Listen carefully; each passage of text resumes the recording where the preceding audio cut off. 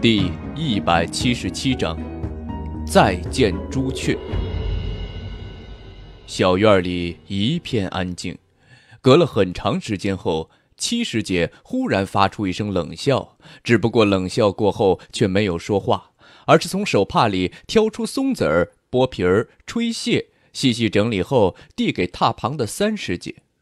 二师兄微微蹙眉，看着她问道：“小师妹，你？”笑什么？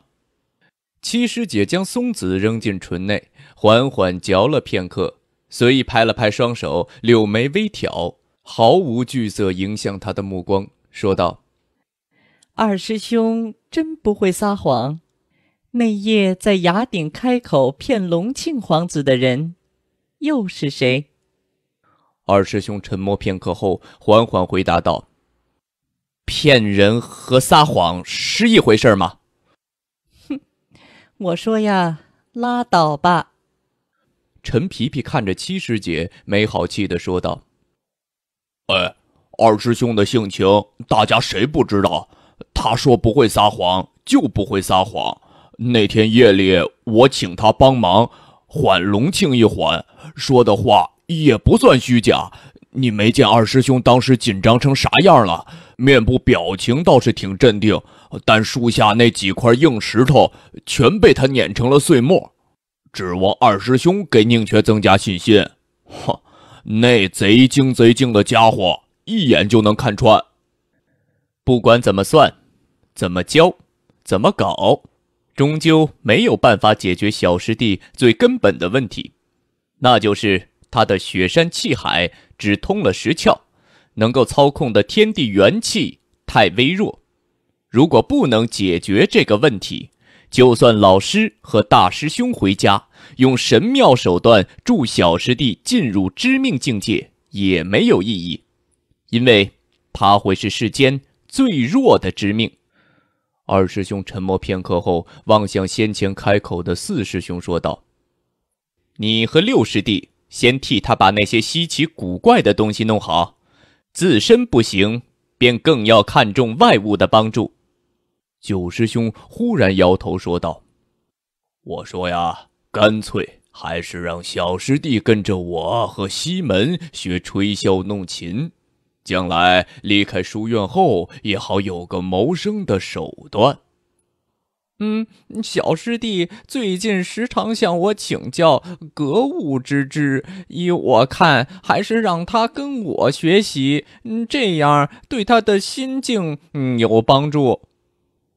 七师姐从窗台上抓起一把瓜子儿，低头挑着最饱满的瓜仁儿，微嘲说道：“哼，十一师弟跟着你学这些没用的东西，将来小师弟饿死了怎么办？”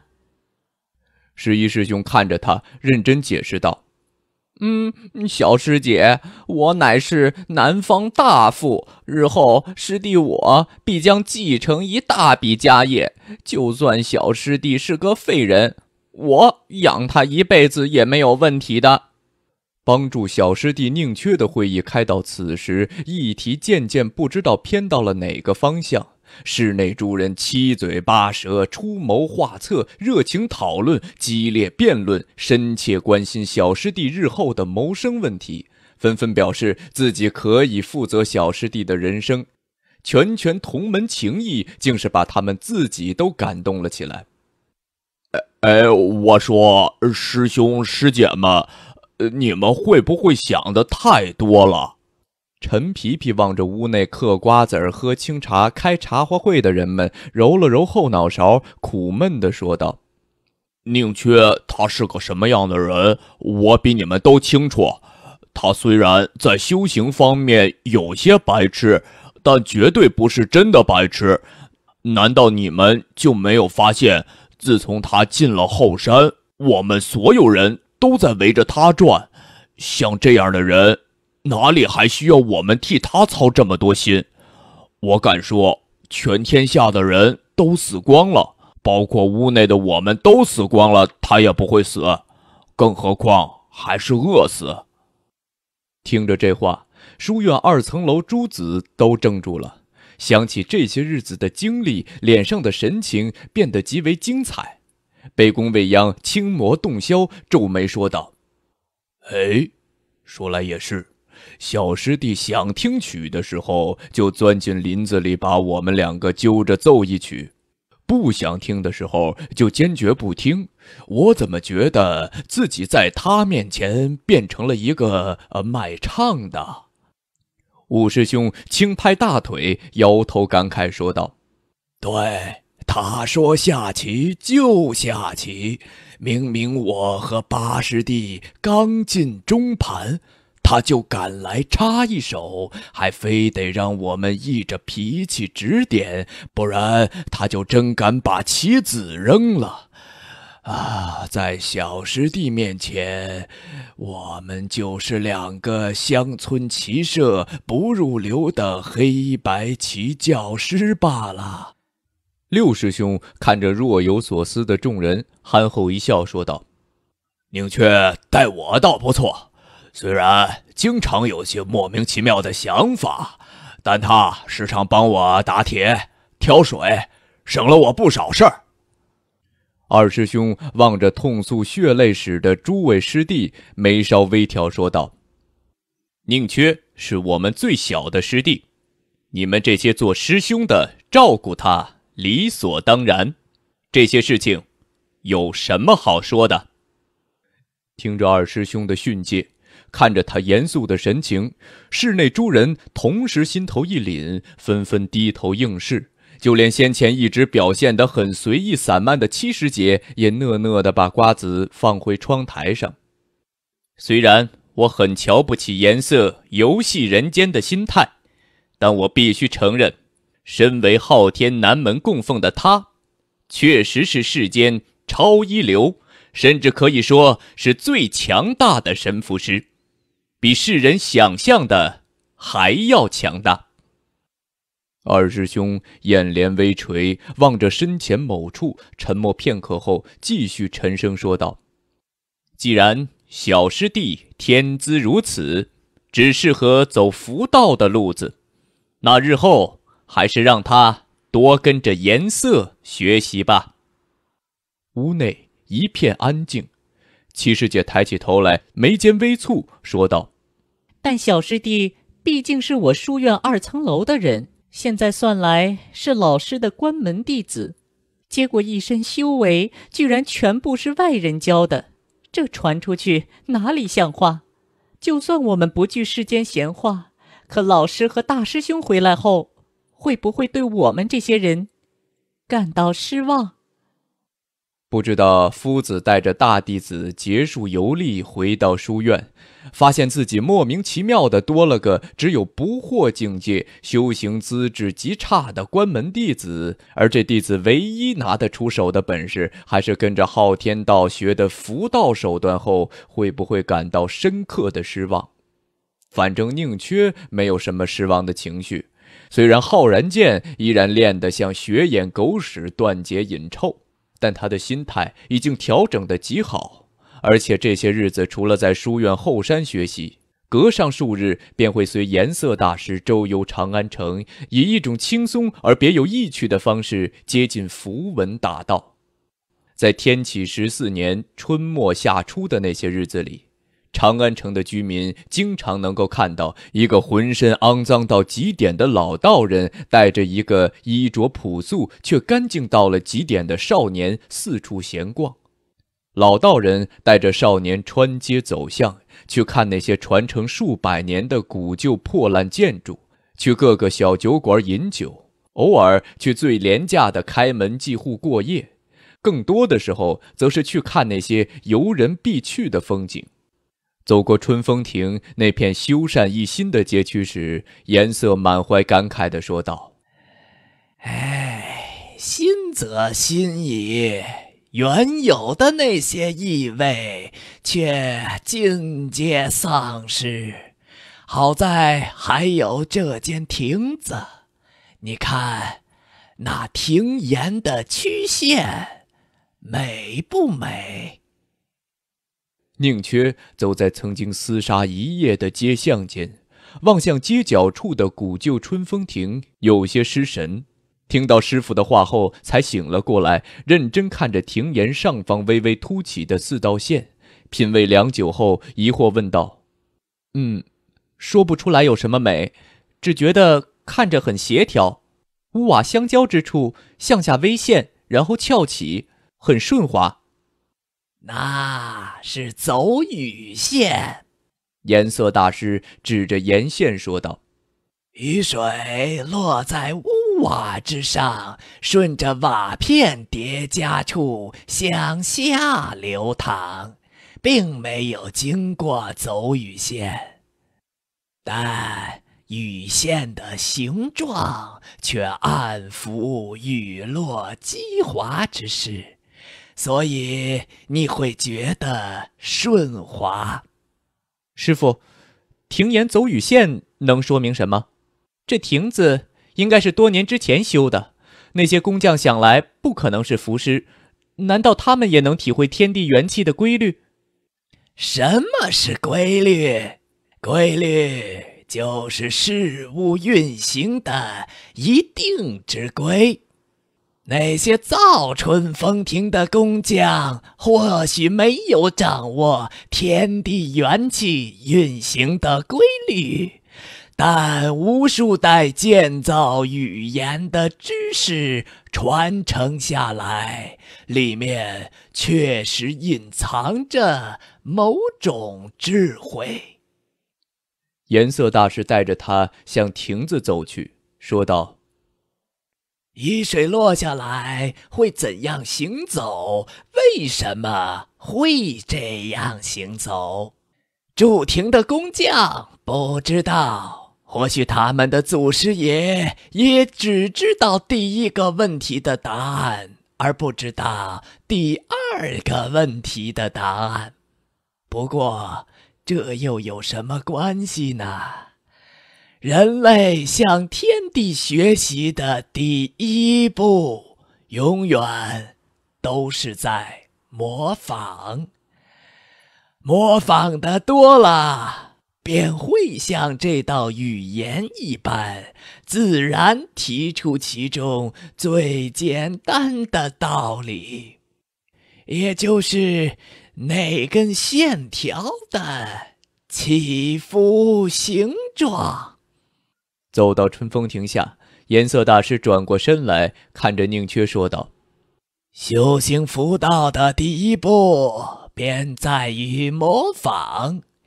我让你看前贤留下来的符文典籍，我让你仔细感悟天地元气间的细微差别。”和工匠们多年间积累下来的建筑经验极为相似，只不过他们是下意识所为，而且要耗去数代人的时间，你却要主动去掌握、体会，并且这个时间。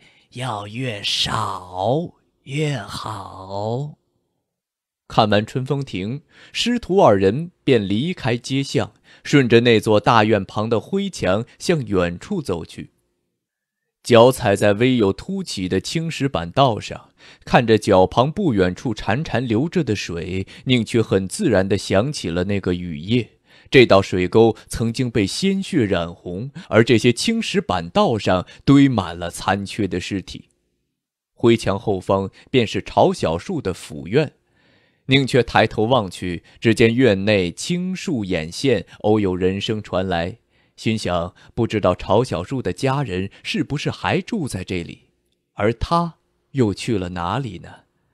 似乎猜到他心中在想些什么，傅秀走在前方的颜色大师微微一笑，问道：“朝小树，观平湖，耳入之命，这等悟性机缘实属罕见。即便以朝小树之才智，如果不是被陛下强行摁住。”在长安城的黑夜泥地中多年，想来也不可能一朝迸发出如此灿烂的光彩。这是宁缺第一次知道，朝小树是知命境界的大修行者。他想着那天雨夜，跟着那个中年人身后浴血厮杀的场景画面，眉梢忍不住微微挑了起来。心中有一种说不出的骄傲壮阔的感觉。你应该看过朝小树的剑术。是的，师傅。觉得有什么特殊之处？很快，像闪电一样。宁缺想起书院后山湖畔那把飞得歪歪扭扭的木剑，感到十分的羞愧。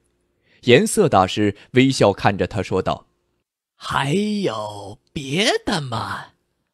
宁缺想起一件事，但他舔了舔嘴唇后没有说出来，因为颜色虽然是他符道上的师傅，但那件事情极有可能是朝小树压箱底的保命本事，这种事情对谁都不应该说。哈！看不出来，你。还是个重情重义之人呐，嗯，嘿嘿。颜色大师有些意外的看了他一眼，宁缺笑了笑，回答道：“朝大哥待我不错，离开长安城后还想着我的生计问题，每个月留给我一大笔银子，就算情义不重，银子堆在一起也够重了。”朝小树一剑化五这件事情，不用你说，我也知道。我提起此事，只是想告诉你，那五块剑片若流星一般笼罩他神州街巷时，你有没有想过，如果那是他的本命剑？为什么分成五阶之后，依然能够如此的听他使唤？这个问题，宁缺真的没有想过。去年春天那场血战之后，没有去思考，是因为他那个时候根本不懂什么是修行。后来之所以没有去思考，则是因为完全没有想到这其中的问题。直至此时，背离春风亭向大街走去，忽然听到师傅的这声问，他顿时陷入了沉思之中。颜色大师并不是那些喜欢用各式各样问题难为自己学生，继而从中获得极大学识优越感和虚荣感，以及施虐快感的老师。看了一眼宁缺皱眉苦思的模样，直接解释道：“朝小树。”本命剑分为五把小剑，这五把小剑之间的联系互动，靠的是一种阵法。而以前我便对你说过，但凡阵法，其实都可以看成是一种变形的符。一种更加依赖材料的大符，道家的剑诀是符，佛宗的手印是符，而这两种符均是不定式。至于将军百战盔甲上的纹饰，虽然是片段居多，但也是符。只不过这种符是定式。宁缺看了他一眼，忍不住苦笑说道：“师傅，我知道您是世间最强大的神符师，我知道每个符师都应该对符道有发自内心、最深、最真挚的感情和热爱。只是，如果像您这样说，那岂不是世间一切修行法最后都可以归到符上去？”这种说法实在是太那个啥了些吧？颜色大师停下脚步，回头疑惑问道：“太那个啥？”宁缺犹豫片刻后，压低声音说道：“太自恋了些吧？”啊哈哈哈哈！颜色大师哈哈大笑起来，引起街巷中行人纷纷侧目以望。笑声间歇，他看着宁缺，沉默片刻后，认真说道：“修行首重心性，在于敢想敢认。长路漫漫，你若不相信自己能够走到最后。”你怎么迈过修行路上那些艰难崎岖的险峰？越优秀的修行者越自信，而最优秀的那些修行者必然自信到极夸张的境界，大概也就是你说的。自恋。宁缺微微张嘴，半天说不出话来。想要腹诽师傅说的这句话是歪理，可仔细琢磨，却又觉得这些话极有道理。尤其是联想到书院二师兄和陈皮皮这两个极端自恋、骄傲的家伙。离开春风亭，从东城经由善磨坊，师徒二人来到一片开阔大道上。不远处，羽林军正骑着骏马巡逻，街上的行人少了很多。青树清河之畔，环境一片清幽。不远处，那座巍峨皇城肉眼清晰可见，甚至仿佛能够看到朱墙之上被风雨冲洗出来的些微痕迹。颜色大师全然没有受到此地庄严肃穆气息的影响。依旧负着双袖，踏着旧鞋，慢悠悠地在街上晃荡着，根本不在意那些羽林军骑士投来的警惕和厌憎的目光。宁缺强忍笑意跟在他身后，忽然想起先前那番对话里有关盔甲符文的部分，又想起去年在旅途中吕清晨老人的某些介绍，向前几步走到颜色大师身旁，用极恭敬、极温顺的语气说道。师傅，我想向您求道符。颜色回过头来问道：“求符？你家出了什么事儿了？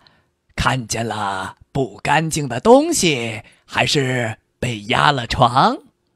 宁缺张了张嘴，不知道该怎么接话，觉得非常无力。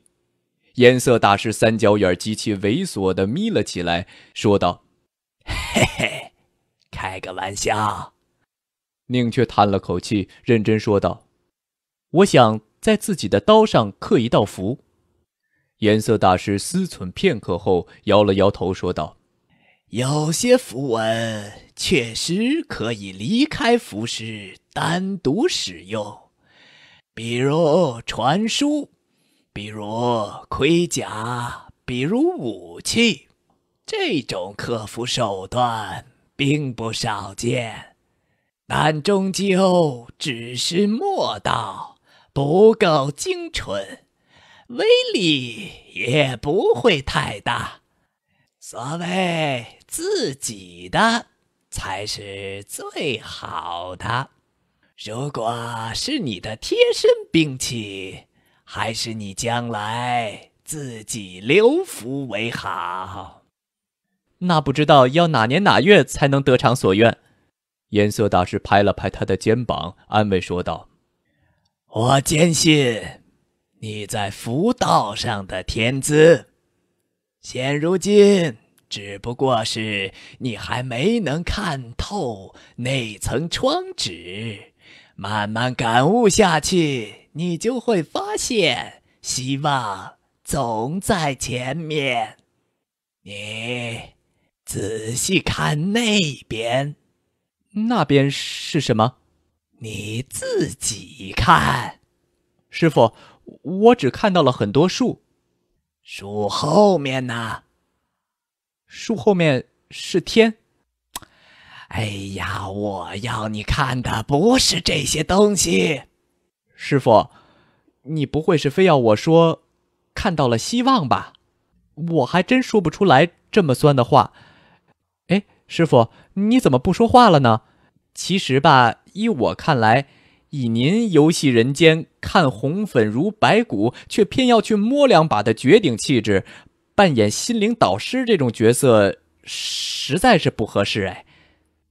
宁缺，是师傅。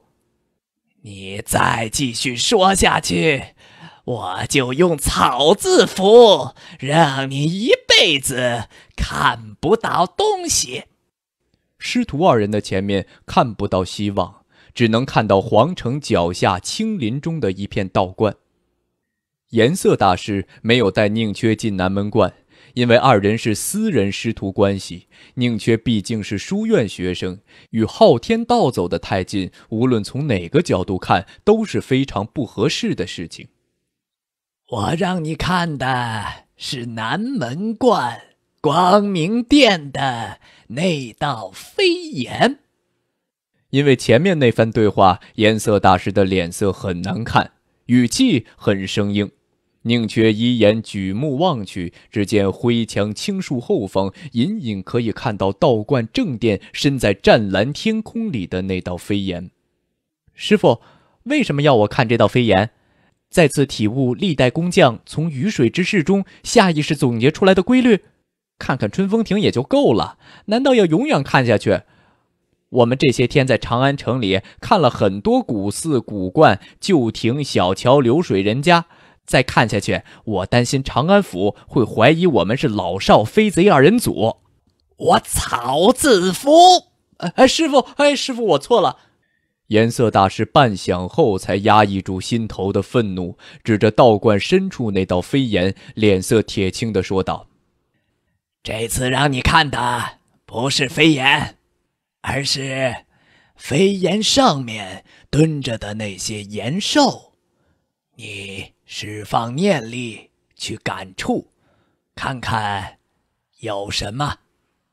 宁缺的神情顿时认真起来，沉默片刻后，缓缓释放出念力，隔空摇触那几吨半蹲在飞檐之上的石质岩兽。延寿的存在，通过天地元气反馈入念力支撑的石海之中，显得非常清晰。然而，就在下一刻，那些延寿仿似活过来一般，他甚至能看到他们的目光。他的心跳开始逐渐加快，呼吸变得越来越沉重，而石海与视线之间的那些延寿，则是越来越清晰，传来的威压越来越重。直接让他的脸色变得苍白起来，身体无比僵硬。颜色大师站在他身旁，看着他的反应，并不担心，反而心情平静而微感喜悦。宁缺对延寿的反应如此敏感，稍微冲淡了一些先前被调侃后的恼怒。宁缺摇了摇头，从先前那种状态中摆脱出来，抬起双手揉了揉眼睛，望向颜色大师说道：“师傅。”我感受到了，我也明白了。颜色大师微微蹙眉，似乎是没有想到宁缺居然能够自行从延寿威压之中摆脱出来。宁缺看了一眼远方重新变得小起来的延寿，说道：“师傅，你是不是想告诉我，这些实质的延寿也是符，是由神符师赋予其力量与近乎强大生命的威压？”不错。我现在更疑惑的是，为什么你第一次接触延寿，居然毫不慌张？宁缺望向他，沉默片刻后，诚实回答道：“我以前接触过延寿。”颜色大师白眉微挑，问道：“哦，什么时候，在哪里？”宁缺说道：“去年春天，在皇宫里，马车过洗衣局的时候，不知道为什么，我看到宫殿檐角上的延寿，便忽然觉得他们活了起来。当时我特别难受。”颜色大师沉默了很长时间，忽然伸手摸了摸他的脑袋，目光里充满了温和的赞赏意味。听你说话，看你行事。我总觉得你这个小家伙的性情心境真的不太适合修行佛道。我甚至有些以为自己是不是被你的那张便签纸给误导了，看错了什么？老道人作为世间超一流的神符师，非常清楚，一个没有接触过修行的少年，居然能够天生感悟到延寿的威压，这代表着他在符道方面具有怎样的天资？我很欣慰，你再一次证明了自己的资质与能力。宁缺笑着说道：“师傅。”资质与能力就在身体里，不需要证明。其实它也是一直存在的。哈哈哈哈哈！今天你说了很多废话，但就这句话算是有道理。颜色大师笑了起来，然后继续关切地问道：“上次在皇城洗衣局里。”是你第一次感触到延寿的威压。宁缺因为这个问题陷入了长时间的沉默。他想起去年春天那一日，自己和桑桑撑着大黑伞，站在笔直宽敞的大街上，站在朦胧的细雨中，然后被那幅在大道中央的朱雀绘像镇压成两尊雕像的往事。过了很长时间后，他抬起头来看着颜色大师说道：“其实，更早一些，在朱雀大街上，那幅石雕的朱雀绘像也给过我相同的感觉，但我不知道朱雀绘像算是什么。”颜色大师听着他的回答，眼睛眯成了两条细缝，忽然开口说道：“想不想再去看看？”那只朱雀，宁缺当然不想去看。这和那只朱雀刻在石头里没有神韵、纯粹假货没有任何关系。他只是对那幅石道上的朱雀绘像下意识里极为抵触、恐惧。可能是他去年春日被大道中央那幅朱雀渗出的肃杀古意吓得太厉害。或许是他潜意识里还记得去年夏闷夜逃亡到大街上后那段濒临死亡的遭遇。总之，他内心深处那抹阴影浓郁的无以复加。然而，作为一名优秀的学生，他很清楚，老师每次问学生想不想做什么事的时候，其实只是需要做出一个尊重你意愿的态度。而事实上，老师绝对不会想听到你除了肯定之外的任何答案。所以，当颜色大师发话之后，他老老实实的回答道：“想去。”师徒二人从皇城脚下一路沿着笔直宽敞的朱雀大道向南行走，仿佛蹲在一根灰褐色、绣着绿花边的缎带上，从长安城这个巨人的头颅走到了胸口。看着大道中央雕绘在石板上的朱雀绘像，宁缺觉得自己的嘴有些发干，双手下意识里收进了袖口，握得很紧，身体感觉有些僵硬。朱雀绘像一如既往的庄严清丽，双翼并未完全展开，只是将阵未阵之时，而两个不怒而威的眸子雕得极好，无论从哪个角度上看，都会觉得他在盯着你。这是大唐各郡子民来到长安城后必看的景点而朱雀会像的那两双眼睛，也是所有游客们津津乐道的奇妙之处。站在衣饰各异的人群之中，看着中间那幅朱雀会像，或许是周遭环境嘈杂、人气蓬勃的关系，宁缺心中的警戒、恐惧感到微微褪去了一些。然而，他的身体依然僵硬，手脚依然冰冷，因为他总觉得这双一直冷漠盯着自己的眸子和雕师们的技艺手法无关。这双眸子仿佛在告诉他，这只经历千年风雨的朱雀是活的。